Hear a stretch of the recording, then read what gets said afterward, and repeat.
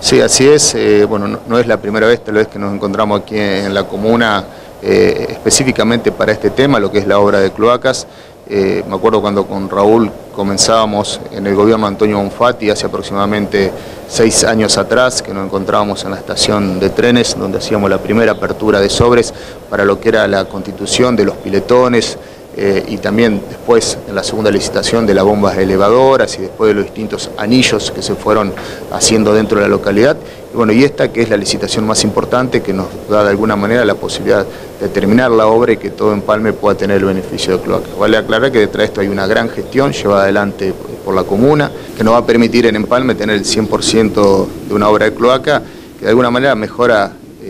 sustancialmente la, calidad de vida de los vecinos. Es decir, que bueno, destacar la gestión de la comuna, destacar eh, lo que se viene desarrollando adelante en Empalme en estos últimos años. Lo hablábamos hace un rato con Raúl, hace dos años atrás inaugurábamos el CIES, eh, hoy estamos llevando adelante y pronto ya a reunirnos con el ingeniero Luchi, lo que va a ser una de las obras hídricas más importantes del Departamento de Constitución. Eh, avanzando también con lo que es el equipamiento de maquinaria y movilidad para, la comuna, las modificaciones llevadas adelante en el Sanco, el mejoramiento de los distintos barrios que tiene la localidad, bueno, eso a nosotros eh, nos alienta a seguir trabajando en Empalme y detrás de una gestión clara y de cara a, la realidad de lo que nos toca vivir a todas las personas en los distintos lugares. Creo que esta obra es importante, son una de las pocas localidades del departamento que viene haciendo cloacas. Eh, hacer hoy un sistema de cloacas es difícil, ya que debes contar con pendientes, situaciones, espacios. Bueno, Empalme complementó y llevó adelante todos los requisitos que eran necesarios, bueno,